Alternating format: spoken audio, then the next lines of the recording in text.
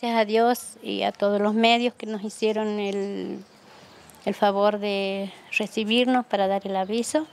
Eh, Cristian está con nosotros. Anoche eh, la familia que le tenía nos, se comunicó con nosotros y pudimos recuperarlo. La importancia de que él esté de nuevo con la familia ¿no? y que no corra riesgos en la calle. Claro, es lo más importante ahora, porque el riesgo, el temor de nosotros era eso, el riesgo que él corre en la calle, porque es un chico que no conoce la calle, ¿me entiende? Entonces, le agradecemos a ustedes, a todos los medios, especialmente a, la familia amante, a todos ellos que se movieron, en ningún momento nos dejaron solos. Estuvimos capaz arriesgándonos de noche, saliendo a buscarlo. Gracias a ellos. Gracias. Eh, ¿La alegría o el reto? ¿Cómo fue el momento de encontrarlo? Para mí, que no soy su mamá, no sé el problema, es una alegría encontrarlo, porque tengo mis hijos y si me faltara uno, revuelvo el mundo. Bien, también formado parte de la búsqueda, eh, la alegría de encontrarlo, pero además la importancia de que no esté en la calle.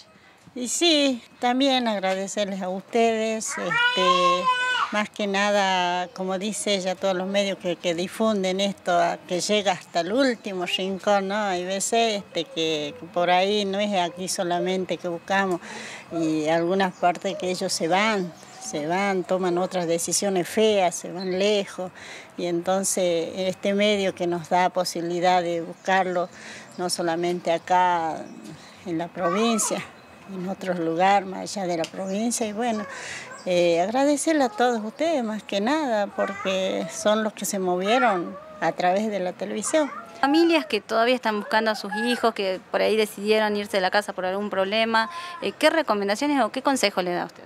Tratemos de comunicarnos más con los chicos, yo diría eso, porque los chicos necesitan mucha comunicación de los papás, ser amigos, ser compañeros y tratarles de que ellos tomen confianza para que no no pase esto lo que pasó con Cristian.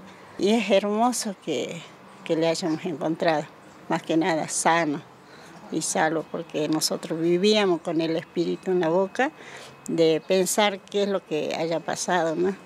Más allá de todo, con el pensamiento que teníamos de no eh, saber a dónde estaba y, quizás encontrarle en malas condiciones, eh, con el riesgo que corre en la calle, pero gracias a Dios ahora lo tenemos bien a Cristian, sanito, que eso es lo más importante para nosotros.